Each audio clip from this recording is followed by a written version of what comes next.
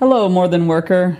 Um, I don't know if that's going to work as a name for listeners to this podcast, but I thought I'd try it out. Uh, before I get into the interview part of this week, I just wanted to kind of set it up. I'll probably do the same next week. So the next two interviews were recorded two days after the election day in the United States. And I've been in London for this entire year, basically right before COVID, I got here. So, like you, I've been in lockdown. I've been alone in a studio flat for most of the time. And I can tell you that as an American being over here during this time and me being someone who's pretty politically active, it was a struggle. It, it, it was really hard. It was hard on this day. This interview that's coming up is with someone I used to work with in New York, and you'll hear a little bit about that. And we talk right at the beginning about not knowing what, what the results were.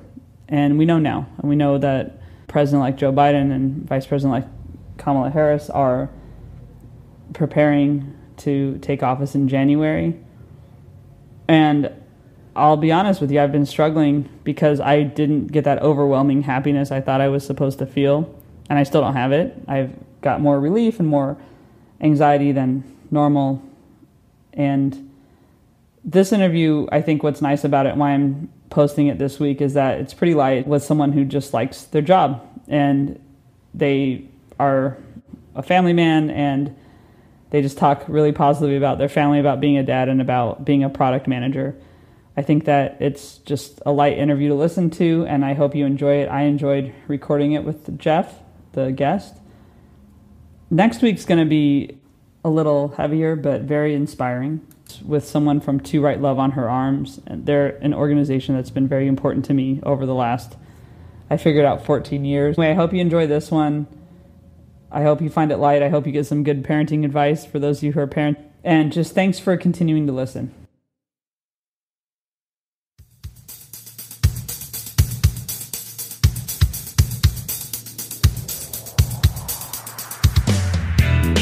Welcome to More Than Work, the podcast reminding you that your self worth is defined by more than your job title. I'm Rabiah, an IT project manager, comedian, nonprofit volunteer, and sometimes activist.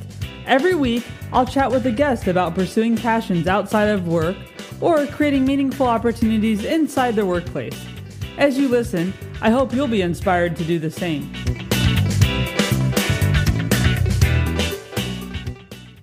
So, I worked with our guest this week. Welcome back, by the way. I worked with our guest this week um, a long time ago when I was in New York at a black car service that was not Uber. So, that's why we're both still working but he also just does really cool stuff with product management and with products he creates and that's why he's here. I'm talking to someone who loves what they do this week which should be fun for those of you who've been listening and kind of love what you do and feel a little left out of that one. So uh, jeff novich uh, principal product manager at classpass and the creator of the reported app in new york city. How's it going jeff? Hey robbie it's good to see you. Good to see you too and not everyone can see us but we can see yeah. each other at least, which is nice. Good to chat. Yeah, it's a tough, uh, you know, it's a tough time right now. We're awaiting the election results, as you know. So this is a very yes. distracting week for yes. all of us. I think we're recording this on November fifth, which means we are both aware of what's our states have done because I voted for California from London and Jeff in New York, but we don't know where other states are. So that's kind of um, tough. And Jeff, you probably appreciate all the work that's gone into building all these interactive maps that everyone. Crazy stuff. Yeah. Yeah. It is. Um, so, so, do you want to just introduce yourself to everyone listening? Yeah, I'm Jeff, Jeff Novich. Um, I am, uh, as as Robbie said, uh, I'm a product manager at ClassPass. I've been there for five and a half years. So talk about you know a tenure um, before that, I worked with Rabiah at a car service company. I was a mobile product manager there. That was back in 2012. And uh, yeah, on the side, I love uh, developing you know other ideas. Um, and I built an app called Reported, which allows you to quickly snap a picture of a car in a bike lane, which is happens all the time here in New York City, and uh, it submits it to 311. Uh, so I'm also a cycling advocate, um, and I have two kids, which and a family, which keeps me uh, very occupied these past number of years. So I haven't been doing as much side project ideas as I normally would have, but um, I say that my kids are like my startup now. So I invest a lot of time and energy in them. I can imagine, especially right now. I mean, I'm in a studio and it's just me, and I'm going a little bit nuts sometimes. So having several people in an apartment uh, sounds like a project. It's been a, it's been a challenge and an adventure, and there are pros and cons. But you know, these past seven, eight, however many months, ten years uh, in quarantine in a two bedroom in New York City with two children and two working parents, full time working parents with no help from anybody, uh, like no nanny, no grandparents or anything, uh, has been a challenge. But you know, we've experienced a lot of really great milestones with our kids also. So there's, you know, it's not it's not all uh, noise and chaos, but uh, most of the time that's that's what it is. Most of the time, it's distractions. yeah, I have a few friends who are in a similar boat, and it's it's been interesting to talk to them. Sometimes to talk to the kids too during their day, because I'm like at night over here, so I can talk to I can talk to children in, in the states during their day, um, my niece and nephews. So yeah, so kudos to you on getting through this and having a smile on your face while you're doing it. Um, so like we were, like I said, and you said we worked together in New York, and at the time I was new to product management, and I was working on the website, and you were working on the mobile app, and I had a ton to learn at that time, but I knew I liked product, and now I'm a project manager, which wasn't my passion. Um, but you've stayed with product. Well, yeah. I mean, I guess um, yes. You should maybe even you may not even realize the what led me to GroundLink in the first place. So when we first met, that was my first actual job, like getting paid a paycheck and being told, you know, be, being expected to show up to work 40 hours a week. Before that, leading up to that, I had vowed never to take a full time job. So my experience is probably flipped from what I think you're you're talking about, like where with like career changes and stuff, where I was committed for like 10 years leading up to, or maybe not 10, but leading up to GroundLink to never work for anybody. I was like, I don't want a boss. I'm going to be really stubborn. I have all these startup ideas. I'm going to work on all this stuff. And my wife was very supportive for many years and then after many more years was like yeah so like what's the deal here? Uh, are you just going to work on these like failed startups for like forever? Or and and her thing was basically she made a really good point. She was like look you could build a startup. You can have your ideas and just work with awesome people at a company and get paid to do it. And i was like no it has to be my idea. And she was like yeah but you can just have your ideas at another company um, and build cool stuff. And uh, and also she was like mm, you have to do this otherwise we're not going to have children because we need we need money. And and, uh, and, so that was a requirement. It was literally one requirement. It was just get a job. And uh, thank god because it was the greatest change. So that was a bit that was a massive career change. You may not have realized this. So when i when i um, first was interviewing and then i got i got the role as a mobile product manager that was my first real role as a like a full-time product manager I had been doing a lot of that kind of stuff, but it was very uh, non-traditional leading up. And um, and then since then, I, I, just got hooked, and I was like, oh, I'm, I'm, this is my love is working on products, building experiences, whether it's mobile or web, um, and working with people like you. You know, like we, you and me, and I think one or two other people were sitting, were sitting for like you know a year in like a small room, yeah. um, overlooking like what 37th Street or something. It was like pre pre 2020 lockdown, yeah. eight hours in, a day. in uh, 20, yeah, 2012, 2012, yeah. 2013. And, uh, and, you know, that was an interesting experience. The first day that I rolled in, our CEO was fired that afternoon. and then my last day, we were all laid off because it was, or I was laid off. It was, uh, you know, a bunch of people were laid off. Yeah. And, um, but I had such a great experience. Those 10 months were fantastic because I, I had such a joy working with everybody and getting all that experience. And I was like, I just love this. I, you know, I, I really had nothing but good things uh, to say about the company and the people. So, and then I stuck with it. And I stuck with product management. That's which is awesome. And so you're at ClassPass now. So that's pretty cool. And I think just the fact that you're a fitness person for sure. I mean, as long as I've known you and we follow each other on Strava now, so we know you know that you're doing a little more activity than me. but uh I see you I see you biking. I, I, it's like I'm on a treadmill around Regent's Park. I see you clocking, and I, I love seeing on Strava like the locations because I'm like, oh yeah, where where is? Oh yeah, you're in London. That's awesome. Yeah, yeah. So it's different different big park to go around. Like you have your park, I have mine. But um, how do you like? How'd you end up at ClassPass, and were you trying to look for a role in that kind of industry? Um, it wasn't actually. Actually, it's funny. You know, I was interviewing back in twenty early 2015, and at that point, I was um, I had um, two sort of roles under my belt, and at that point, I had honed kind of what I was looking for a little bit. Like, I knew I really wanted to work with a really strong engineering team that was um, building something cool. I knew that I wanted to work at a company that was a startup that was small enough but growing and had really good growth prospects. Coming from the two prior companies that where I was basically, you know, uh, as they say in London, made redundant. Uh, yes. uh, at the, you know, and and and only good things to say because I had great experiences, but I was like, I want to be somewhere. I want to be on a rocket ship, you know, and I want to have a, a I want to have a seat there. I don't care if it's in the back of the back row. I just want to experience what that's like. And at the time, ClassPass had just raised forty million dollars. Um, at the time, I also was like, oh, this is like a yoga. Uh, you know, this is like yoga for women. This isn't really like I don't know what my place here. Like I don't know if I would use the product. I, I didn't. I didn't do studio uh, workouts at the time at all. So I literally had no idea and uh, didn't even think I was going to use it.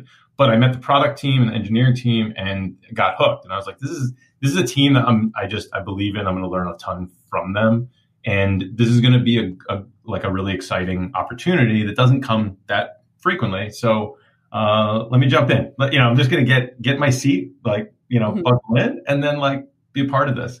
And, you know, and then a month later, I think I took my first studio fitness class. So now I'm up to like, I don't know, 400 or 500, which is great. I mean, it only took me yeah. five years, but, and now all the gyms are closed in New York or, you know, mostly closed, but uh, I love it. I became, I became hooked and it became like my whole kind of, um, you know, w- working out, uh, became a big part of it. But the product side has been really exciting, um, at ClassPass all these years and continues. I know a couple people who use it and they really love it. And is there any feature that you can talk about that you was like an idea kind of like your wife had told you? You know, you can build your ideas with the team. Did you have anything that you're particularly proud of? Yeah, I mean, when I started, I was working on the um, the uh, the what we call the the partner dashboard of ClassPass. So that's you know we work with gyms. We work with 35, 40, I think over 35,000 mm-hmm. studio gym partners um, and wellness partners all, all around the all around the world. Um, and at the time when I joined, there was basically no website that they used. Like they needed to log in and see, you know, what their reservations are, how much money they're making, um, and, and a variety of other things. They, they couldn't manage anything. So when I joined, there was basically nothing. Um, and I had to go from like zero to one, which is very much like a startup kind of yeah. concept. And I think like those first three months, I was like, you know, it was a, the first day was like a, a, week had gone by and it was just the end of the day. And uh, those first couple of months, we were, I was just writing tickets and shipping just a ton. It was just putting out tons of fires.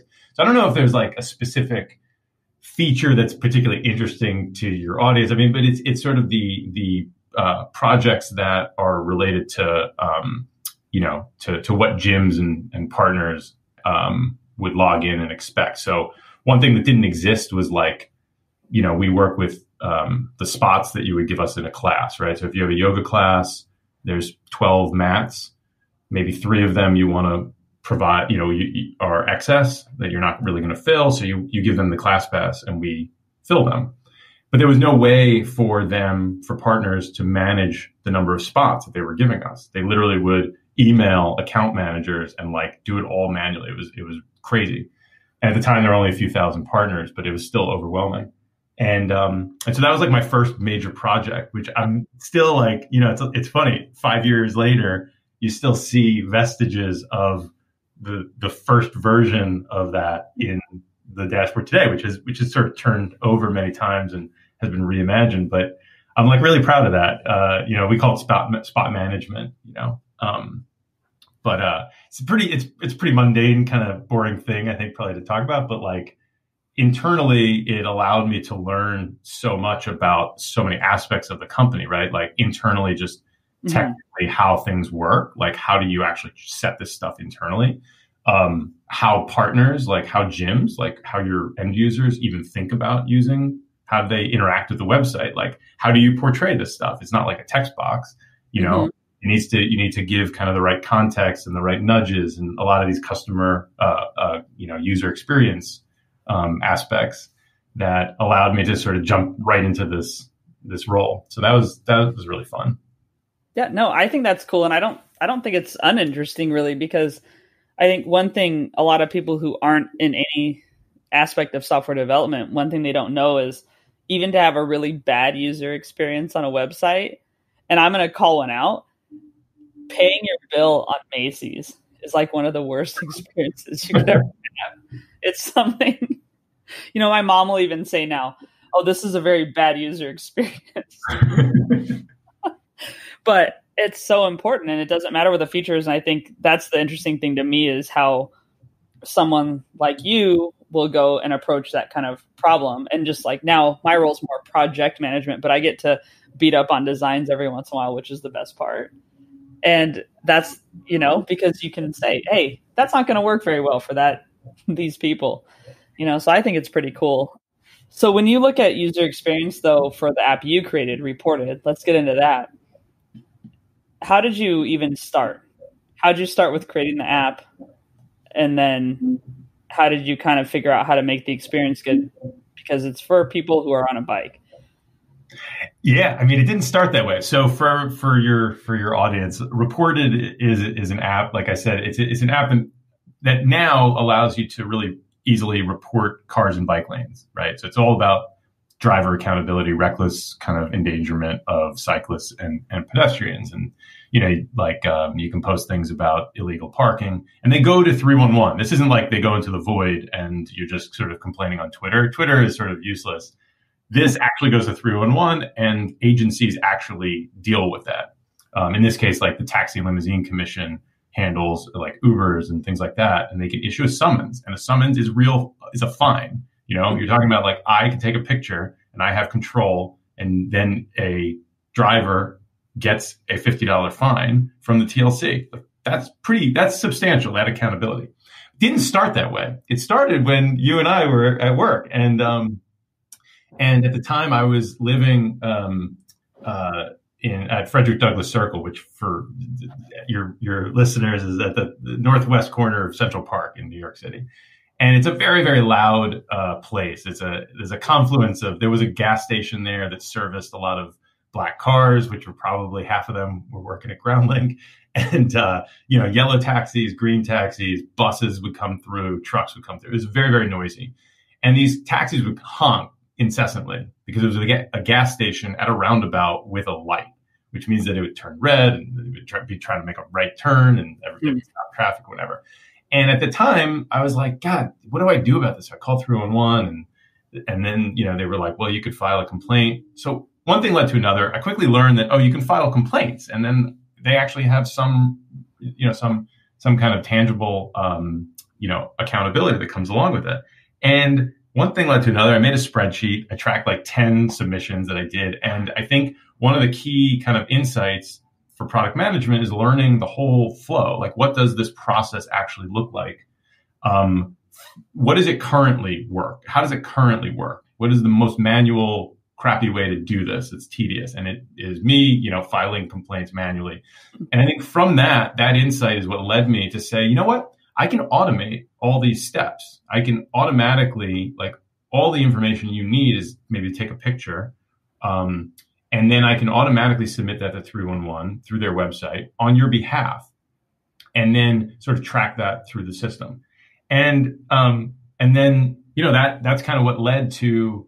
Uh, I worked with a, a, buddy of mine. He built the iOS app, and I built sort of the back end for it that actually did the processing. And um, we just sort of designed a pretty basic like flow, like a user experience. And um, and what was funny is I I was totally convinced. I was like, everybody's going to use this to file complaints about taxis honking. Honking bothers everybody. Yeah. And I am clearly the only like grumpy old man in New York uh, who like is most bothered by this stuff because nobody actually used it for honking complaints, but cyclists started using it, and um, they started using it to submit complaints about taxis and bike lanes. And at the time, I wasn't biking. I, I had never biked in New York. I was terrified of it, but I started to realize that. And I think again, as a product manager, you when you're working on a startup, it's like zero to one, and you're first putting something into the world and you're seeing how people respond to it.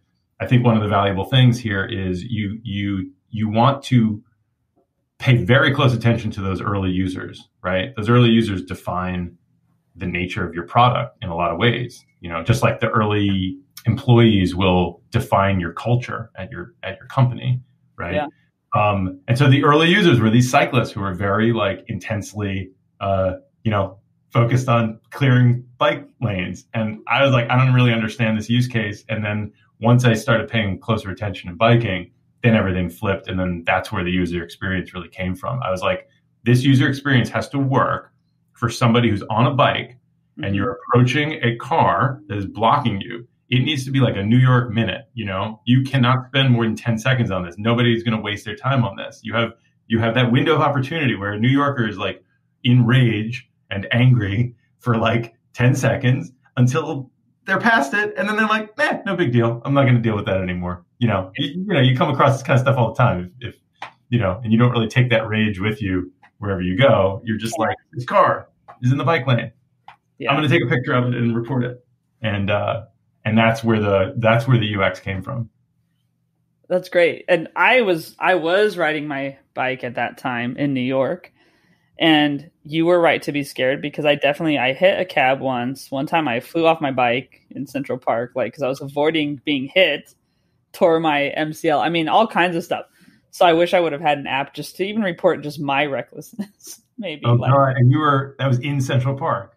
Yeah, and I probably should have just you know, been able to like do something to track all the crazy stuff I was doing. So I'd maybe think twice before getting on my bike some days. but it's like it was crazy. So I, when I saw like this evolve just on your posts online, it was interesting because even now in London uh, today, I was laughing at something, some stat you had that um, the fine for a driver who honks when there's no emergency is hundred dollars. I don't know if that's still the the going rate, but at the time you wrote that it was.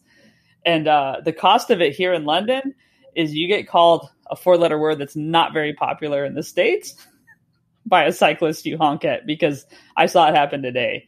And there was this woman passing me and this guy honked and she almost like turned into me because it was really loud. And then she just yells this word that was quite, you know, still colorful to me just because I'm pretty new here. and I wish we could report that because it was bad. I mean, and it's pretty brutal sometimes. Like a lot of the cabs will try to hit you here, you know, as a cyclist. So, well, there's one thing you should be aware of, which is, which is that London has a citizen, com- a very very strong citizen complaint law that allows you to file reckless as a citizen.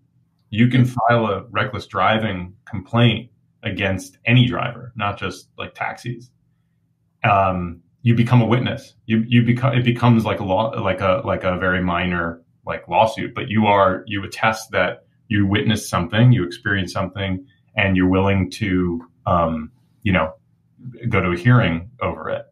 And that's what I actually you know it's funny that's that's what I'm trying to get a city the city council here in New York to to uh, to update our bill to, to to have a bill that allows any citizen to file any com- complaint around reckless driving and illegal parking so that it's not just the NYPD that can do it, and it's not just the mm-hmm. Taxi Limousine Commission that can that has that authority. That there's an authority in between, but you know, but that's what I'm saying. Like when I, you know, doing the product manager, you're not, you know, in in this case, this is very interesting because I was building, you know, the whole the nature of this whole app and the whole experience is all like around an existing formal flow that is the 311 system, right? Like without that, I don't really have anything. But so you have to understand it really, really clearly and know like the the the ins and outs of of uh, you know what your city can and cannot do and what they you know what they actually do. Um, we're not building like Twitter, you know. It's not like uh, it's not like a fun online thing that you just like report stuff and then take pictures and that's it. Like it actually hits a real world, you know, government system, which means yeah. That's a whole other mess that is, I think, exciting and mind numbing at the same time because it's it's the city, so you're dealing with their websites and their like crazy kind of complexity. And one thing that I like that you do is you tend to post your stats every year, just kind of general Jeff stats, but then also about reported. So, so how how has the usership grown from when you started to now? Yeah, um, I think so. It, it, I think we officially like launched in 2014, um, and then basically there was like you know 20 people using it for the year and 20 you know it's not like i you know this wasn't like a formal startup or anything. There was no money behind it. There was no i didn't i don't even there's no business model. It's a side project. It is very much like a, a passion project yeah. that i do explicitly. Like that's that's some people were asking like why don't you do a gofundme or why don't you get some and i'm like that would change the nature of this whole project you know it's not really a startup so over the i think 20 I, don't even know like not a lot of people were using it it was like 20 people 30 people for the year. You know, there's very minimal use. And then 2018, I think there were a few, you know, maybe a few thousand submissions for the year. And then 2019, so last year, it, it really blew up. And what's really depressing about that is that it pretty much exploded because of all the cyclist deaths. And that's the saddest part of this whole thing is I, I wish this app didn't exist. I wish I wish the complaints were going down because the bike lanes were all clear, and then we just literally. I would like the the app to not even be in existence. You know, mm-hmm. that's the that's the weird kind of goal. Is like I don't want users. I don't want really any of this. What's sad is 2019 was the deadliest year for cyclists. 29 cyclists were killed um, by drivers, and uh, and that over the summer really like peaked, and there was a lot of interest um, and last year there were, I don't know, 900 in, in, in unique individuals who submitted at least one complaint. There were about 18,000 submissions, which doesn't sound like a lot. Like when you think of an app and it's like whatever, like you're like, yeah, 18,000. I don't know. Shouldn't there be a million or something like that? but the crazy thing is that represents, I think, I forgot what my number was, like a half or a third of all of the TLC consumer complaints.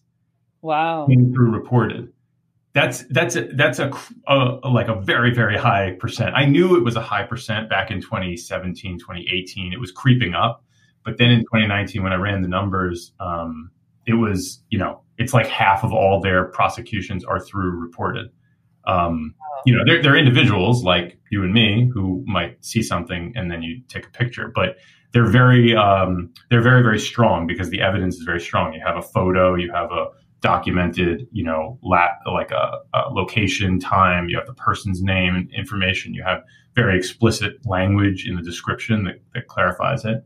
And um, yeah, but I don't know. My hope is that the the behavior is changing for for drivers, but it's really hard to say. We are on track. I mean, just for New York City right now, we're we're at 20 cyclist deaths already. So we are on track for being also one of the deadliest years, you know, in the last 20 years. So, and this year when really, I mean, I don't know how it is there right now, but I mean, there are less cars on the road here for sure. We just went into lockdown again today. So it was remarkably less cars when I took my ride today than say three days ago when it was, you know, everything was booming still. So that's kind of scary too, just the fact that I mean, it's probably less traffic in New York, I imagine. I don't know. In, yeah, no, that's that's you're 100. Yeah, that's that's totally accurate. Is that there were absolutely fewer cars in you know April, May, June. Yeah, but that meant speeding was absolutely on the rise. Like the, the the number of speeding tickets didn't actually really go down. That's the crazy thing is that you had a fraction of the traffic volume, but still a very high incidence of speeding. Uh, cycling wasn't super, you know, was kind of came back once quarantine was lifted, right? Like, like people didn't have any place to go, so you didn't take a car or a bike, right? But, um, but now you absolutely see there's a, just a huge, uh, there's a boom in cycling, which is great. I think, um, I think this is tremendous. I mean, I think New York City could be re- like is on track to be a, a, a really amazing bike friendly city. Uh, I mean, London has done so much more in so much less time. Paris, you know, these other other places have just taken it so much more seriously. And uh, but but yeah, I'm I'm hopeful we do a little a lot more, a lot faster. But we're we're we're slow. Do you have any feedback from users other than the fact that they use it? Like anyone, uh, something special that was said, or you know, some something you heard about anecdotally that you know it changed their experience riding a bike in New York, or have you maybe not seen that yet? That kind of thing. Uh, no, no. I mean, no. I've talked to a lot of people. I mean, what's interesting is the 80-20 rule totally applies here. So you have people who are intense and they post, they will file just a crazy number of submissions, and they represent like the bulk of submissions are coming from like I've met I've met all these people and they are you know very friendly, very like they will take pictures of like everything and submit. And they will they have like thousands of complaints under their name. Um, you know, uh, is it? I think I think for the average cyclist, when you're thinking, oh, I want a bike, but you know, then you start encountering this stuff. Everybody in New York, anybody who cycles in New York, like you immediately come to grips with the fact that we're a pretty hostile city, and mm-hmm. cycling oh, infrastructure yeah. is pretty hit or miss, and drivers are pretty uh, can often be pretty reckless and um, not pay attention or be actively like you know reckless against you. Um, uh, you know, at the at the very least, like they just casually, oh, I'm just going in for a second, so I'm just going to park here and uh, right. screw you. I don't really care. Go around. It's always just go around. Um, I think having this app, I think I've definitely heard people talk about the app as like this nice thing in their pocket that if when something happens and they feel like, um, you know, justice should be served, but that's really not, that's a pretty loaded term. Probably don't want to talk about that, but you know, where they want, where they want some accountability because otherwise you're just cursing at the sky, you know, at the sky. And yeah. in New York, like there's nothing you can do.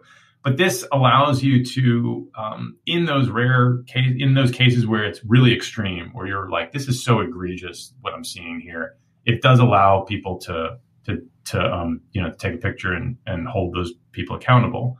And I think that's that's I don't know if there's like a phrase that, that has been said, but like I've definitely heard that from a lot of people. I think that's how it spread. It's not like I was advertising or anything. People just gravitated and they're like, oh, this is what you use as a cyclist. This is the app that you would have in addition to like your Citi Bike app and your Citymapper app or your Google app, like to, for your directions and for like access to bikes and things like that hmm. you also want to protect yourself. And this is sort of a form of protection because you know that you can use it in in if you need to. Yeah.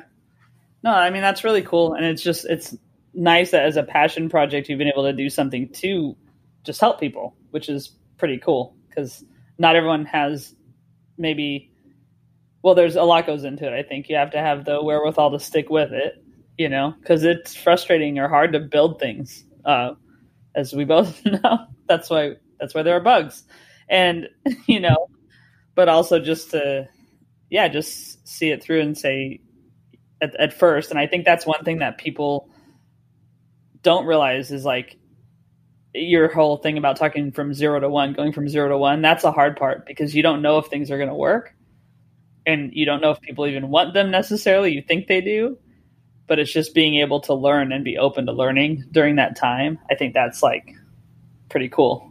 And I saw you doing that when we worked together a long time ago and just being curious and asking questions and stuff like that because we all go in with a bunch of assumptions. but, you know, we need to get the questions answered basically. Yeah, I think that's, you know, user research is great and getting to know who you know your users basically so i think yeah when we were working i was like well i just want to talk to a couple of these people um, and same thing here i mean i personally know many of the users of reported like i know them because right. We we tra- we travel in the same circles of Twitter, you know, um, and uh, but they're they're fierce, and I think they um, they help shape it, right? Um, um, and that passion, like you can't th- that it's it's awesome. It's awesome to see, like, oh, I'm building something that like is giving these people like the ability to do something that they might otherwise not necessarily do, or if they did it otherwise, they would have to do a lot more, take a lot more effort. You know, there'd be a lot, a lot more friction. Um, and uh, and so I talked to them, and they're like, you know, they give ideas and and uh, tell me everything that's wrong. like we don't have any money, and I only have uh, volunteer people helping with the app, and uh, they have other things on their minds. So we're not going to ship any releases anytime soon.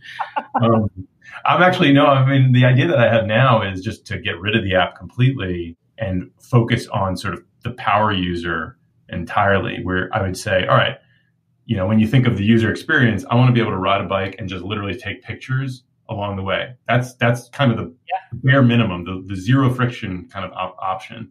Um, but then what do you do with those photos? The problem is with the app, you then have to go spend time afterwards and like upload the photos and identify the license plates and do all this additional work. And I'm like, I wrote this whole script that can automate almost all of that, virtually all of it, pretty like well enough that if you have a picture, it'll automatically identify the license plate. It'll scrape the lat long and the location, the metadata from the photo. So you have the time, the timestamp, all that. If you basically are saying, look, I'm only doing bike lane complaints from, you know, for my ride.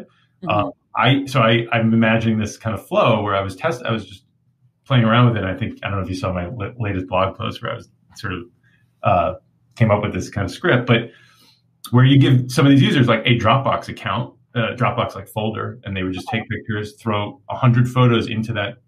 Uh, we all like. It's funny, by the way, when, when I talk to other people about this, all of them have their phones, and you see their photo feeds are basically in their photo album is like all just uh, what my friend calls car butts like it's just active cars because that's like you're constantly taking pictures, and uh, you know in that moment you're like, ah, I'm gonna I'm gonna I'm gonna file a complaint. So, um, but just taking that and be, being able to quickly say, here's hundred photos, throw them all in the Dropbox, and then my script would just automatically do the best it can and file them immediately with no with nothing in between. Um, because we know we already know the information about your user account and like who you are, and we know the type of complaint this is, so we don't have to like classify anything. The only sort of unknown is the license plates, but that can be um, automatically uh, evaluated from you know these third party systems. So yeah, that's pretty cool. And just make it more efficient. That's like giving giving the users something they maybe didn't even know they needed, and or some of them might probably maybe told you they needed that, but that's pretty that's pretty cool. So one thing with just you also and just being passionate about things, I would say I don't know if you call yourself a writer. I would say you're a bit of a writer. One of the things that I was most entertained by and informed by was like you did a review of Soylent, for example, right?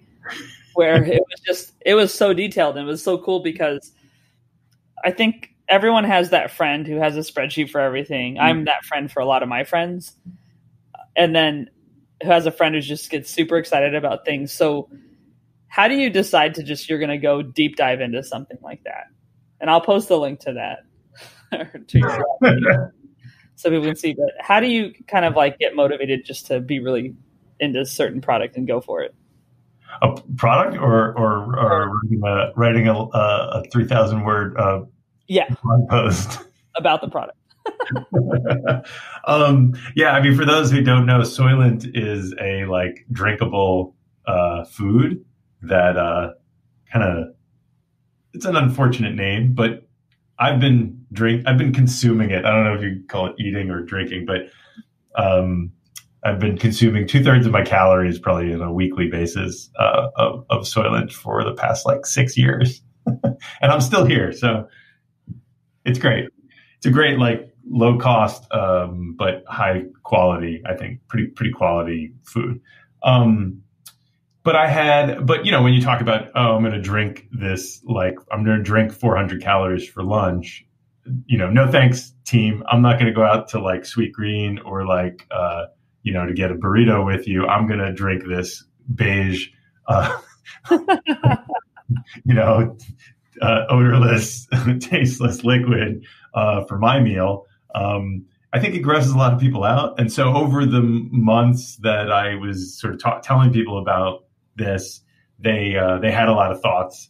Um, and so it was more like an FAQ. That's that's kind of how I framed that blog post. I was like, well, these are things that I hear so much from people, um, and I wanted to I wanted to sort of run the the gamut of like here are all the different kind of exclamations and complaints, and you have people that have very strong opinions, um, and I wanted to sort of address each of them. So I I penned this very long blog post that described kind of how I respond to all of those um, all of those responses. You know, because some people are like, "Oh, gross! I'll never drink like food," and I'm like, "Yeah, but I mean, you would have a smoothie, you know." Uh, or they're like, "It's you know, it doesn't taste good," and I'm like, "Are are all your meals like the greatest meals of of your life?" No, most many of them, especially at lunch, like during the week, are like crappy food. You're you know like a like a what's it called? Um, you know, Taco Bell or something. And I'm yeah, like, yeah. compare it to that. That's what you want to compare it to. So, and like cost, you know, it's cost, convenience, and health, right? Or, or mm-hmm. how I, those are how I sort of broke it down. But yeah, I've done those kinds of blog posts. I, I love those. Uh, I did that on Citi Bike also. Mm-hmm. Like yeah. all the benefits of a Citi Bike commute, like why I loved it so much. I mean, it's really, it was really more a reflection on like biking in general. Um, yeah. But you know, some of the benefits of Citi Bike and, uh, and yeah, I mean, I, I, I, write a lot. I tend to not write frequently because I have kids now, and so I used to write a lot more blog posts and things. Um, but it's very it helps me sort of organize all my thoughts um, in one place. Yeah, I think it's great, and I think it's just fun to again see someone who's just passionate about things and sharing information, and you know, just yeah, really the whole sharing of information thing. I mean, that's something I've gotten better about and understood the value of more. I used to be one of those people who, if I had all the information, then I was the most valuable. But I think it's the opposite is true. If you're sharing information, then it's valuable. Information someone just holds to themselves is like not worth that much. uh, so I have a um like a series of questions that I like to ask that I call the fun five. Uh, before we get to that one, do you have any like advice or mantra that you'd like to just share with people that was either told to you a long time ago or just kind of what you try to live by? in like in general or like for product management? Or yeah, or product management or work or whatever, you know.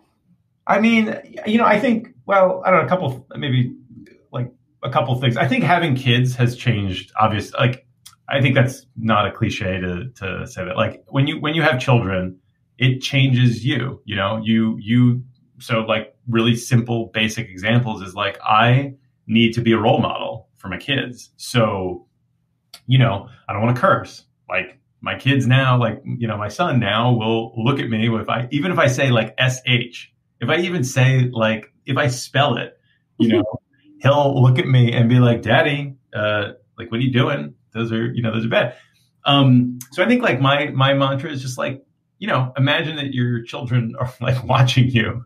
Uh, so treat people with with respect and like that's kind of how you go about your day. Um, and that uh, I don't think that's a I think that's a good principle that you can kind of apply to most most things that you encounter in your life. Um, you know, I surely would have made different choices in my you know like 20s if I had that like responsibility and th- and was thinking in terms of like what you know what are the perspectives of other people because I think kids just help you have a very um, like uh, you always want to think of like be sensitive about other people's perspectives but kids in particular like have no agenda or anything so they are very um, you know they're sort of just naturally like a good um, like a like a good perspective to, to recognize and be sensitive to and be like if i'm sarcastic like sarcasm is a good example like something i do not do anymore. I don't do it. It's a mean thing to do you know it's just it comes across as mean to children. And uh, you know so I, try, I try to not do any of that. Like i don't do it to my coworkers. I don't do it to my wife. Like but that was something i i would have done a lot you know? Um, things like that, jokes that that where you are, you know, where you're kind of you're the expense of the joke. I mean, you're a comedian, you know, you it, it, you know, you're talking to adults. It's different, but like I think that's that's how I how I've approached a lot of things um, in the last you know six seven years. Yeah, well, and even with comedy, I mean, there's an idea that you don't punch down, and um, I just saw Ricky Gervais two nights ago, and he kind of takes has a go at people who say they don't punch down. But I think it is a matter of what you want the reflection of you to be and things you say and do. And I'm not. I was kind of laughing when you're saying about being sarcastic because I'm like, oh, I don't even know if I can talk. You know. I mean, it's not like don't ever do this. I'm just like, if, if you think about that and how, yeah. not that you should treat everybody like a child, but there's a great book that I highly recommend. It's called How to Talk. How um, was it? How to Talk to Kids. How to talk so kids will listen, and how to listen so kids will talk. Mm. I may have yeah. flipped it. It's a book from like the early '80s where they basically it's actually a good product product management book because it's it's a book that's written through all these uh, workshops that they did that these two like authors who were sort of um, educators they brought in all these parents and would do these workshops with them. And they had all it's, it's tons of real world examples. Mm-hmm. where you're like here's how how do you get a kid who's like seven to like do something? Um, if a kid comes home and is like upset how do you respond? Right and that like we read that um, when jack was born when my son was born. And um, it is literally a how like the same it's how to talk to your coworkers. It's how to talk to other adults. It's how to talk to your spouse or your you know your significant other yeah. with respect. Like it's literally it's a blueprint for all of that because it's the exact same model.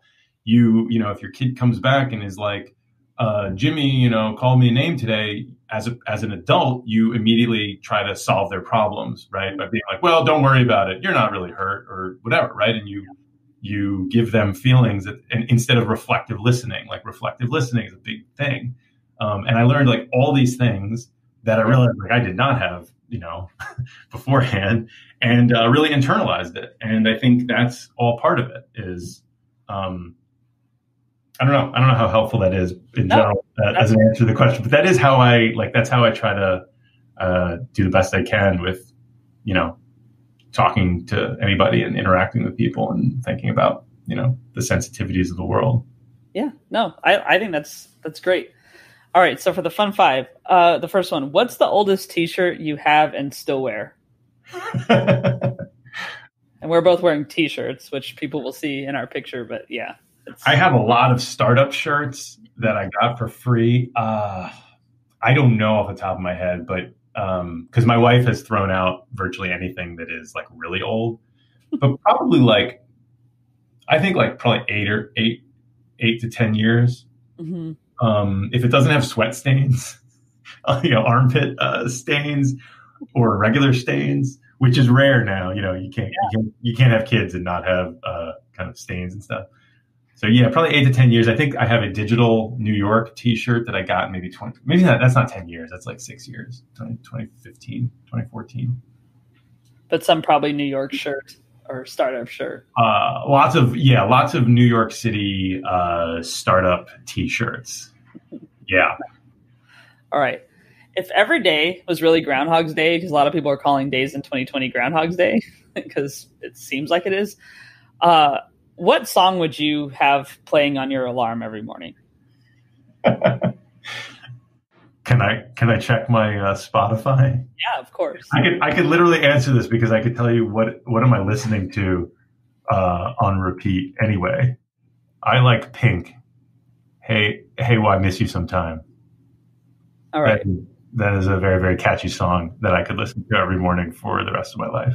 All right. I don't hopefully, get tired. Hopefully it's not the, that long. uh, so coffee or tea or neither? Oh, like two to three cups of coffee. Great. Every okay. morning. I never had coffee until I had kids. I used to make fun of my wife and I said, "Oh, you got a coffee addiction. You can't. You you know you have way too much coffee every morning ever since I met her." And then um, she's like, "I can quit anytime I want, you know, but I just don't want to. I just." And I'm like, "No, you're addicted." And then we had Jack, and then literally on a dime, from that point on, uh, I had two to three cups of coffee every single morning without ever stopping. Yeah, it's, I, I do it even without kids. Uh, do you remember the last time you like laughed so hard you cried or just couldn't stop laughing? I don't, but I think when my wife did, I remember that, and I think we were. I think it was. I think it was Storks. We were watching the movie Storks like a couple years ago, and she. It was like she was, you know, on. She was like high the whole movie, but she wasn't. But she was just like cackling and could not control herself. So that's that's a good recommendation too. Then, um, and who inspires you right now? Well, I'll tell you who does. Trump does not. not oh. I, um, no, I mean, you know, I think probably my wife. You know. Yeah. Um, most most days, right? She's she's juggling many different things all the time, so it's it's it is very inspiring to be a a mom in New York with a full time job and two kids, and you know, living in quarantine. But I don't. Yeah, kind of a cliche answer, but but uh, it is. I think it is true. That's nice. All right. And is there anything you want to promote or want people to check out? Uh, you should follow. Um, my wife has a great Instagram account um, called Cargo Bike Mama. Cargo Bike M O M M A, and uh, she has an, an, awesome Dutch cargo bike. That's like a an electric bike. Um, looks kind of like a wheelbarrow in the front. It's really cool. Not yeah. a lot of people have it, and uh, she takes these awesome photos um, when she rides around town. So, Jeff, thanks so much for being on. I really appreciate it, and it was really nice chatting with you about reported and just all things product. Thank you, thank you, Robbie. It was good to good to catch up, uh, and thanks for having me on. Thanks for joining me this week. You can find out more about our guest in the show notes. The music you're probably moving to by now is by Joe Maffia. Find him on Spotify. That's Joe, M A F F I A. And Rob Metke is responsible for our visual design. You can find him online by searching for Rob, M E T K E. Thanks, Rob. Let us know who you'd like to hear from or about your own experiences defining yourself outside of work at More Than Work Pod on Facebook, Instagram, or Twitter. Give us a follow. Or visit our website at rabiasaid.com. Subscribe on Spotify, Apple, or wherever you get your podcasts. Thanks for listening to More Than Work. We'll be back next week with another guest. In the meantime, while being kind to others, don't forget to be kind to yourself.